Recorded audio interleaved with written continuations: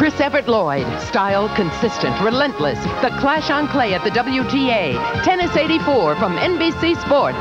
NBC Style.